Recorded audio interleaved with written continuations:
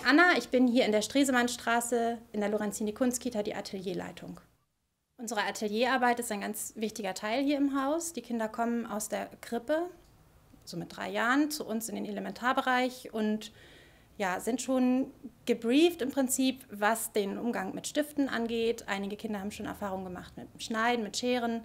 Und das greifen wir hier oben auf und erweitern das einfach, indem wir einfach noch viel mehr Materialien anbieten, die den Kindern hier zur Verfügung stehen. Wichtig ist, dass die ähm, Materialien frei zur Verfügung stehen. Ich gebe den Kindern nichts vor. Ich biete ihnen das an, indem ich es aufbaue, schön präsentiere, ähm, eine vorbereitete Umgebung schaffe für die Kinder und äh, die Kinder so die Möglichkeit haben, frei zu wählen, womit sie sich beschäftigen möchten. Die vorbereitete Umgebung ist ein Werkzeug, um in die Projektarbeit einsteigen zu können. Ähm, ganz häufig ist es zum Beispiel so, dass wenn ich etwas vorbereite, ich ein Bild von mir als Kind mitbringe oder eine, einen Kuchen, den ich als Kind besonders gerne gegessen habe und den mit den in, die, in den Morgenkreis bringe, wo wir vielleicht am Tag in das Projekt starten, dann bereite ich dadurch äh, den Kindern eine Atmosphäre, in die sie eintauchen können, um ähm, ja, emotional und ähm, in ihren in ihren Gefühlen angesprochen zu werden. Und ich gebe auch etwas von, von mir preis, was die Kinder einlädt, sich darauf einzulassen und mit, mit uns zusammen in die Projektarbeit zu starten. Wir öffnen das Atelier, indem wir unten im Rollenspielraum den Gong schlagen und äh, die Kinder schnell, ganz schnell ihre Sachen aufräumen, losflitzen und der Erste, der das Schild an der Treppe berührt, dreht es von rot auf grün und somit ist für alle Kinder klar, das Atelier ist geöffnet und es darf hochgelaufen werden und losgelegt werden.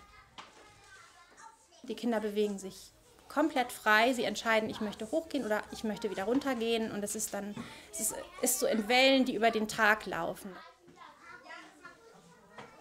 Heute hatten wir eine vorbereitete Umgebung, die gestaltet wurde mit der Hilfe eines Kindes in, in der Kindergruppe hier.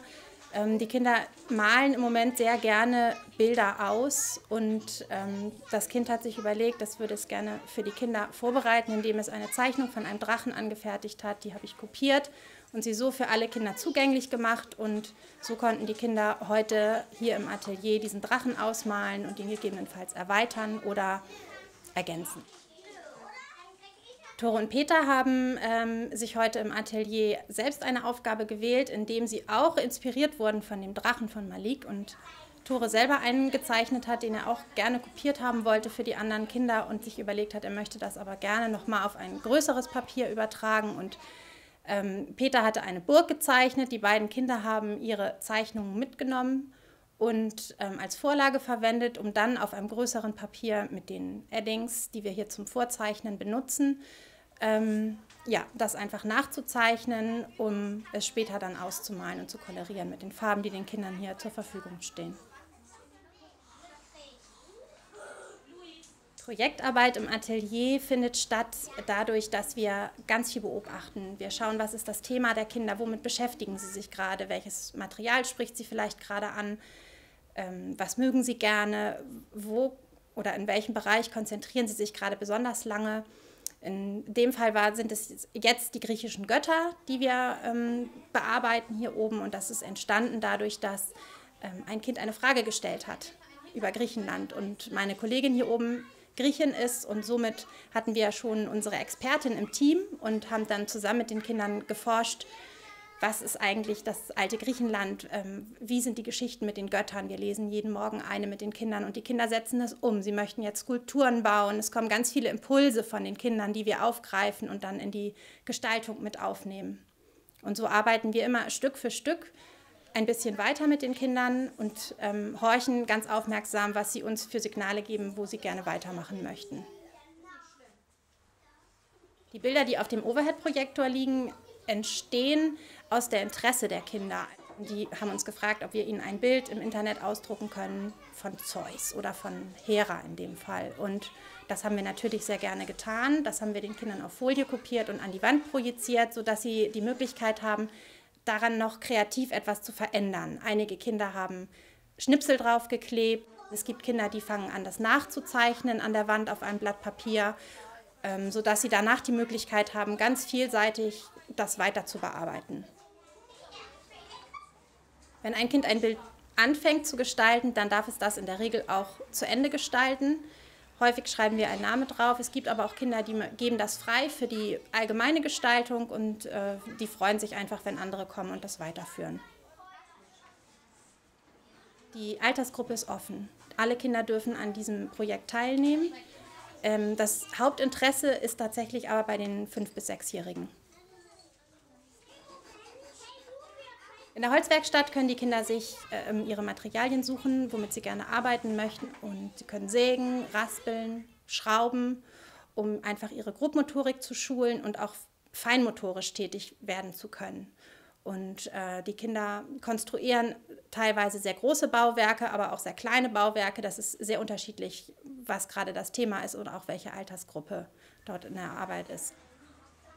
Ich versuche Material in der Holzwerkstatt äh, so anzubieten, dass jedes Kind etwas findet, womit es ähm, arbeiten kann. Ein Dreijähriger wählt eine andere, ein anderes Material als zum Beispiel ein Sechsjähriger.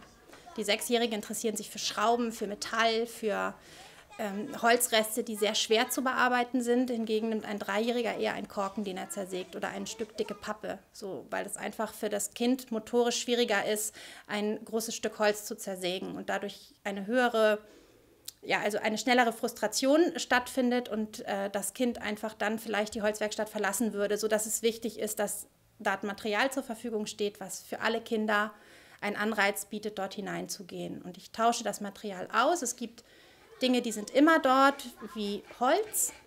Ähm, Korken gibt es immer, Schrauben und Nägel gibt es auch immer. Und alles, was darum drumherum ist, wird durchgetauscht. Und ich schaue einfach, was vielleicht übrig bleibt, was wir an Verpackungsmaterial hier in der Kita haben, was die Kinder von zu Hause mitbringen. Das ist ganz unterschiedlich.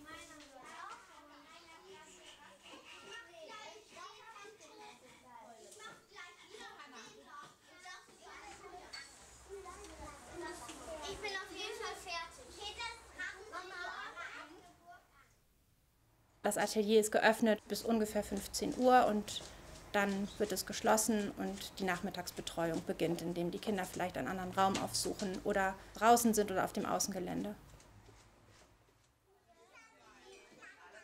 Der Zeitraum der Projektarbeit ist sehr unterschiedlich. Das ist absolut abhängig von dem Interesse der Kinder.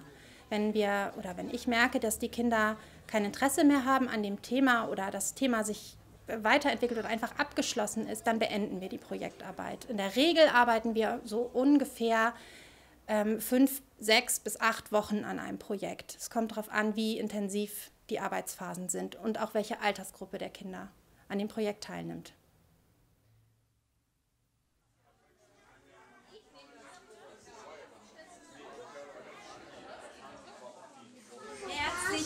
Willkommen, Galos Orisate zur göttlichen Vernissage hier in der Lorenzini Kunstkita. Wir haben uns an der griechischen Mythologie orientiert und dabei sind diese tollen Werke entstanden. Nach einer Projektarbeit werden hier die Werke der Kinder ausgestellt. Das machen wir deswegen, weil es eine große Wertschätzung für die Kinder ist, einfach auch ihre Werke zu präsentieren. Sie präsentieren sie ihren Eltern, anderen Eltern. Besuchern, die vielleicht Oma und Opa sind oder ähm, auch anderen Kindern. Und viele Kinder stehen vor ihren, ähm, vor ihren Bildern, Skulpturen, Bauwerken, was auch immer gerade angefertigt wurde und erzählen sehr stolz, was sie dort gemacht haben, wie sie es gemacht haben, sodass da einfach auch nochmal dieses, dieses ganzheitliche Werken und Arbeiten für die Kinder zum Abschluss gebracht wird, indem sie eine Präsentationsfläche erfahren für ihre Arbeit.